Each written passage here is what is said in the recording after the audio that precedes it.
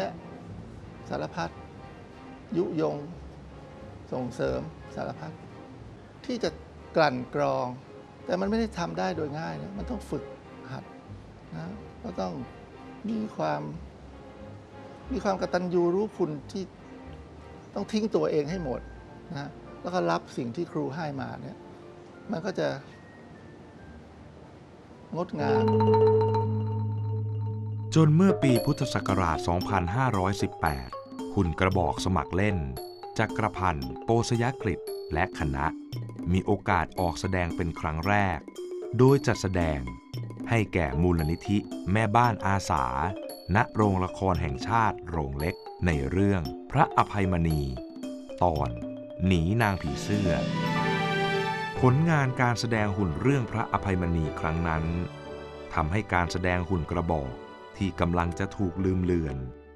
กลับมาได้รับความสนใจอีกครั้ง หลังจากนั้นไม่นาน ครูชื้นก็ได้กรุณามอบ หัวหุ่นที่ยังคงเหลือเกือบทั้งหมดให้แก่จักรพันธ์คือพออาจารย์มีหน้าหุ่นมีอะไรพวก พวกคณะแม่บ้านอาสาเนี่ยเขาก็มาชวนว่าคุยกับอาจารย์บอกว่าเอาเอาไปแสดงตั้งแสดงไหมก็ไปตั้งแสดง จริงๆเนี่ยผมนึกว่ามันมัน มันแปลกนะเงื่อนนะเพราะว่ามันจริง ๆ มันก็จะบอกความสามารถมันของของเราของอาจารย์มันก็เป็นส่วนหนึ่ง แต่ว่ามันไม่ใช่ทีเดียว มันเป็นเหมือนธรรมชาติว่าเขาจะเกิดนะเขาโรยๆไปเหมือนต้นไม้ที่มันจะปุ๊บแต่มันบทมันจะมันจะแตกหน่อขึ้นมามันแตก ในปีพุทธศักราช 2532 จักรพันธ์โปสยกฤษและคณะ ได้กลับมาแสดงหุ่นอีกครั้ง เรื่องสามก๊กตอน โจโฉแตกทัพเรือ ณศูนย์วัฒนธรรมแห่งประเทศไทยยับทับโจโฉ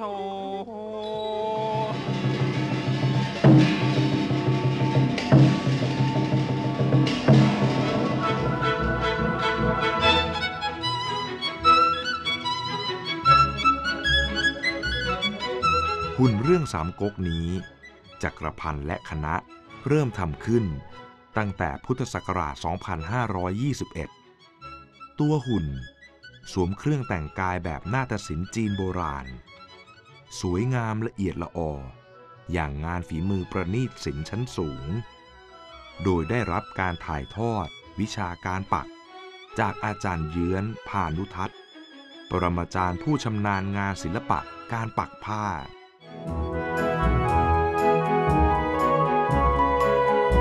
ในปีพุทธศักราช 2536 จักรพันธ์และคณะได้รับมอบหมายให้ทำการซ่อมอนุรักษ์หุ่นอีกครั้ง เป็นหุ่นไทยชุดรามเกียรติ์ของกรมพระราชวังบวรวิชัยชาญ หรือหุ่นวังหน้าจำนวน 100 ตัว งานฝีมือระดับช่างวังหน้า หาผู้ใด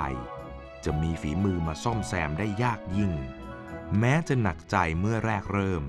แต่เสมือนเทวดาโดนบันดาลให้ผ่านพ้นทุกอุปสรรค การซ่อมแซมหุ่นวังหน้าจึงแล้วเสร็จในพุทธศักราช 2540 ถ้าซ่อมเรื่องเรื่องความสวยงามอะไรเงี้ยมันก็ไม่ยาก มันยากเรื่องศึกษาสายเรื่องการสันนิษฐานต่างๆเนี่ยนี่ะเราก็ต้องสันนิษฐานเทียบเคียงเอาว่าอันไหนกับอันไหนเอามา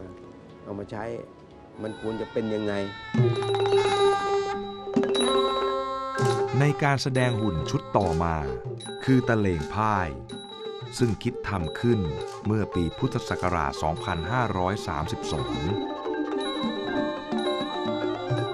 นอกจากเสื้อผ้าอันประณีตงดงาม ใบหน้า เครื่องประดับแสนวิจิตรและกลไกที่ทำให้หุ่นกระบอก ขยับขยื่นเคลื่อนไหวได้อย่างอัศจรรย์แล้ว การแสดงหุ่นชุดนี้ ยังเป็นการรวมเพชรแห่งวงการดนตรีไทยมาไว้ด้วยกัน เนื่องจากผู้บรรเลงเพลง และผู้ให้คำปรึกษาเรื่องดนตรีไทย ล้วนแต่เป็นปรมาจารย์ดนตรีไทยด้วยกันทั้งสิ้น ครูที่มีความผูกพันกับผมมาก อีกคือคือครูดนตรี ซึ่งก็ได้มาเล่น เวลาเราเล่นหุ่นนะก็เชิญครูเหล่านี้มา ท่านก็เกิดความสนุกสนานนะซาบซึ้งประทับใจ ท่านพูดที่ผมจำได้ว่าคุณจักรพันธ์เมื่อไหร่จะเล่นหุ่นอีกล่ะนะนี่นี่ที่ผมพูดนี่ไม่ใช่ ผมอยากได้สตางค์หรอกนะ แต่ว่าท่านมีความสุขอะ หุ่นตะเลงพ่ายของจักรพันธ์โปสยกฤษและคณะ ลักษณะเด่นเป็นหุ่นที่มีการนำศาสตร์และศิลป์มาผสมประสานกันนำไปสู่งานอันทรงคุณค่า ทั้งคุณค่าความงามด้านศิลปะของตัวหุ่น งานฝีมือชั้นสูง ทั้งงานปั้น งานปัก งานเขียน งานปิดทอง ตลอดรวมไปถึงกลไก เราเรียนเชิดด้วย แล้วก็ทำยังไงมาหัดเชิดให้สวยอย่างที่อย่างที่หุ่นมันควรจะเป็นนี่แหละฮะมันก็เลยเกิดเกิดหุ่นสกุลใหม่ขึ้นมา คือสวยวิจิตร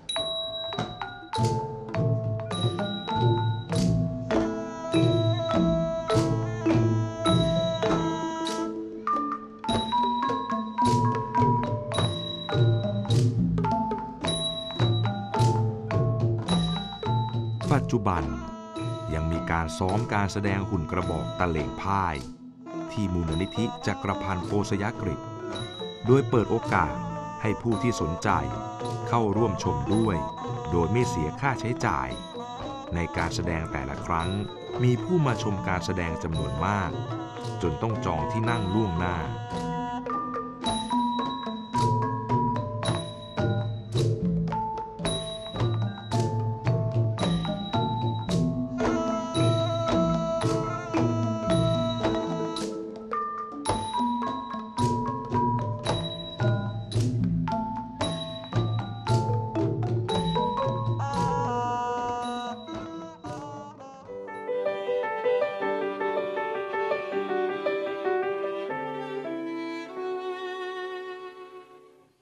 สำหรับงานด้านประติมากรรม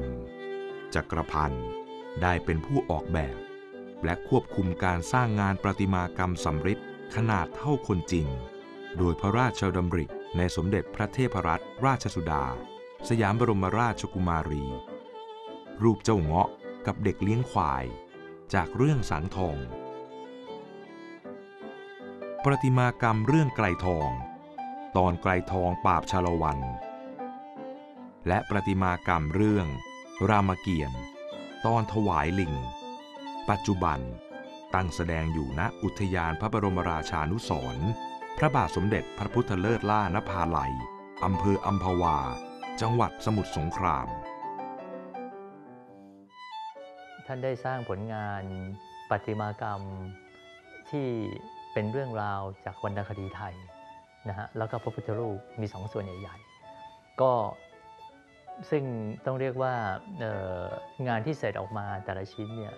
ก็มีความประณีตเป็นพิเศษนะฮะรวมทั้งมีวิธีการสร้างแล้วก็การหล่อลวดลายนะฮะที่ติดอยู่ในพื้นผิวหรืออยู่ในความเป็นวัสดุโลหะเนี่ยได้อย่างได้อย่างอ่อนช้อยแล้วก็พริ้วไหว ซึ่งก็เป็นหนึ่งในเอกลักษณ์ของสกุลช่างจักรพันธ์ ที่สะท้อนออกมาในงานไทยประเพณีในงานประติมาผลงานชิ้นสำคัญอีกชิ้นหนึ่งของจักรพันธ์คือออกแบบและควบคุมการปั้นหล่อ พระพุทธมหาปรมีนุภาพพิสุทธิ์อนุตตรสังคามวิชัย พระพุทธรูปปางมารวิชัย ที่ใช้เป็นองค์ประธานในการแสดงหุ่นกระบอก เรื่องตะเลงพ่าย ความสามารถอีกด้านหนึ่งของจักรพันธ์คือการเขียนหนังสือ อันเป็นงานอดิเรกที่เริ่มทำอย่างจริงจัง เมื่อคุณสุวรรณีสุขนเที่ยง บรรณาธิการนิตยสารละละนา หรือสุวรรณีสุคนธานักเขียนดัง ผู้เป็นรุ่นพี่และเป็นอาจารย์ที่มหาวิทยาลัยศิลปากร ได้ชวนให้จักรพันธ์เขียนบทความลงนิตยสารละละนา และได้ตั้งนามปากกาให้ว่าสสิวิมล เขียนบทความเกี่ยวกับความงาม วิจารณ์ศิลปะ สัมภาษณ์บุคคล ซึ่งได้รับความนิยม จนมีการจัดพิมพ์รวมเล่มในเวลาต่อมา โดยเฉพาะเรื่องสสีวิมลท่องเที่ยว ซึ่งมีการพิมพ์ซ้ำถึง 8 ครั้ง และได้รับรางวัลประเภทหนังสือสารคดี จากการประกวดหนังสือขององค์การศึกษาวิทยาศาสตร์ และวัฒนธรรม แห่งสหประชาชาติ ในงานสัปดาห์หนังสือแห่งชาติ ประจำปีพุทธศักราช 2519 ไม่ว่าเป็นคนอะไรก็ไม่รู้นะฮะทำอะไรได้ดีหมดทุกอย่าง ตอนที่เขาจบออกมาแล้วเนี่ยนะฮะเขาก็เขียนติดน้ำมันนะฮะแล้วก็เขียนหนังสือ เขียนหนังสือก็อ่านสนุกใช่ไหน่าน่าน่าอ่านมากนะฮะ ขนาดมีคนคอย แล้วว่าเมื่อไหร่หนังสือจะออก นอกจากนี้ยังมีผลงานวิชาการ และกึ่งวิชาการ ออกมาในนามจักรพันธ์โปสยกฤษอีกหลายเล่ม เช่น หุ่นไทย หุ่นวังหน้า หุ่นจักรพันธ์ผลงานล่าสุดคือคิดถึงครู บทความบันทึกเรื่องราวต่างๆ ระหว่างครูกับศิษย์ เป็นการรำลึกถึงปรมาจารย์ ที่ได้ถ่ายทอดวิชาความรู้แขนงต่างๆ ให้จักรพันธ์ซึ่งรวมเล่ม ตีพิมพ์ในปีพุทธศักราช 2551 ด้วยอัจฉริยภาพในการสร้างสารรค์ผลงานอันทรงคุณค่า ประดับแผ่นดินมาเหลือขนาดนับ จักรพันธ์โปสยกฤษจึงได้รับรางวัลเกียรติคุณต่างๆ มากมาย ที่สำคัญคือได้รับการยกย่อง ให้เป็นนายช่างเอกในรอบ 200 ปี แห่งกรุงรัตนโกสินทร์เมื่อปีพุทธศักราช 2525 โดยเป็นหนึ่งในช่างเอก 52 คน นับตั้งแต่รัชสมัย พระบาทสมเด็จพระพุทธยอดฟ้าจุฬาโลก มาจนถึงรัชกาลปัจจุบัน และได้รับการยกย่องเชิดชูเกียรติ เป็นศิลปินแห่งชาติ สาขาทัศนศิลป์ จิตรกรรม เมื่อปีพุทธศักราช 2543 ตราบจนปัจจุบัน นามจักรพันธ์โปสยกฤษในแวดวงศิลปะมิได้เพียงหมายถึงช่างเขียนชั้นครูคนหนึ่ง หากแต่ถือเสมือนสกุลช่างหนึ่ง ในรัชสมัยของพระบาทสมเด็จพระเจ้าอยู่หัว ภูมิพลอดุลยเดชรัชกาลที่ 9 ด้วยผลงานของจักรพันธ์และสิทธิ์ผู้ได้รับการถ่ายทอดวิชา มีเอกลักษณ์ เฉพาะตัวและมีความประณีตบรรจง เป็นที่เชื่อแน่ว่างานของจักรพันธ์โปสยกฤษจะเป็นหนึ่งในศิลปะที่จะอยู่คู่ รัชกาลที่9นะฮะถือว่าเป็นศิลปะรัชกาลที่ 9 ที่โดดเด่นและมีเอกลักษณ์อีกสกุลช่างหนึ่ง แล้วก็ช่างสกุลจักรพันธ์โปสยกฤษในงานไทยประเพณี ก็จะเป็นหนึ่งในสายเลือดที่จะสืบทอด ความเป็นไทย ไปสู่รุ่นลูกรุ่นหลานต่อไป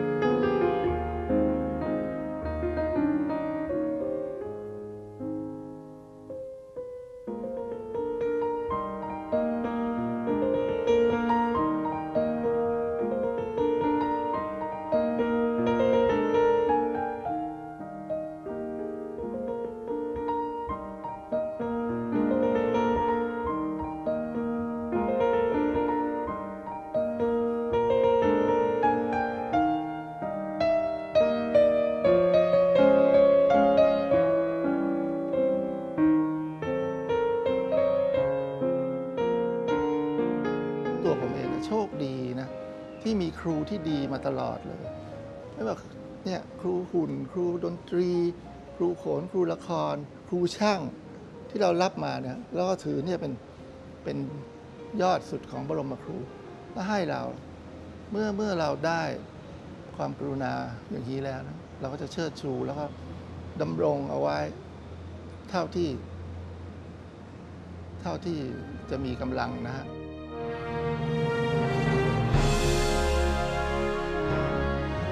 ลาบอันยิ่งใหญ่ของมนุษย์ ที่เหนือกว่าทรัพย์สินเงินทองใด ๆ คือการได้พบครูบาอาจารย์ ผู้เมตตาสั่งสอนและถ่ายทอดศิลปะวิทยาการอันวิเศษให้ จากจุดเริ่มต้นที่จักรพันธ์โปสยกฤษถือกำเนิด และเติบโตบนเส้นทางศิลปะ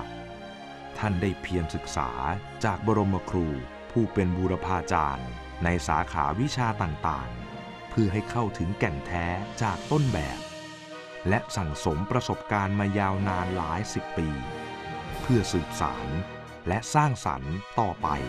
ในอนาคต